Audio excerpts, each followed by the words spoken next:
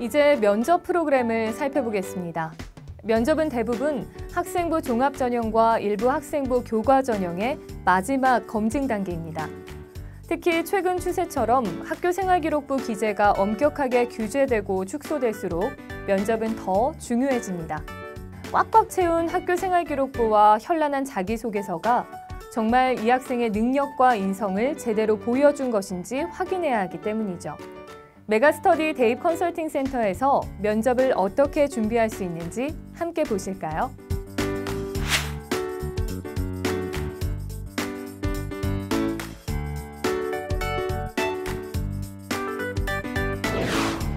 메가스터디 컨설팅 센터의 면접 프로그램은 학생의 성향과 지원학교, 학과를 고려한 프리미엄 1대1 면접부터 2, 3인 소수정의 면접, 집단 토론 면접까지 다양하게 구성되어 있습니다.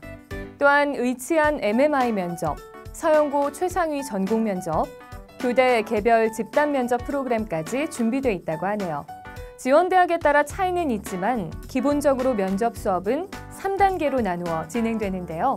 1단계에서는 빈출 문제로 면접 기초 트레이닝을, 2단계에서는 컨설턴트가 직접 출제한 서류 기반 맞춤형 예상 질문 연습, 마지막 3단계에서는 실제 대학과 동일한 모의 면접 형태의 수업으로 실전 감각을 향상하게 됩니다. 지원 대학에 따라 제시 문형 면접과 서류 확인형 면접 두 가지가 결합된 형태의 면접 모두 대비 가능하겠네요.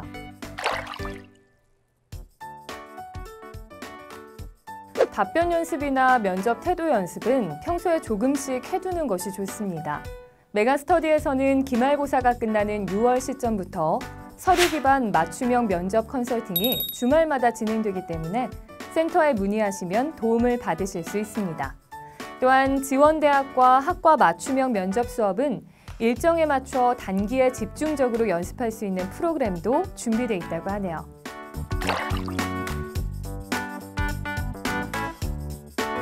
면접은 문제를 열심히 풀고 답안을 성실히 만들어도 직접 말해보지 않으면 소용없습니다. 수업 시간이 아무리 길어도 한 반의 학생이 너무 많으면 발언 기회가 돌아가지 않아 면접 연습이 제대로 되지 않겠죠. 메가스터디 대입 컨설팅 센터의 면접 프로그램은 진정한 소수정의 수업으로 효율적으로 확실하게 면접 대비가 가능합니다.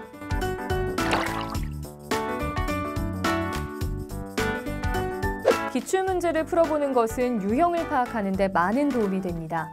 하지만 기출문제는 다시는 나오지 않을 문제이기도 하죠. 학생들은 대학에서 응용, 변형된 문제를 풀이해낼 수 있는 문제 해결 능력을 평가받습니다. 메가스터디 대입 컨설팅 센터에서는 같은 유형의 다른 문제를 풀어보며 출제될 예상 주제와 문제를 준비해 볼 수 있습니다.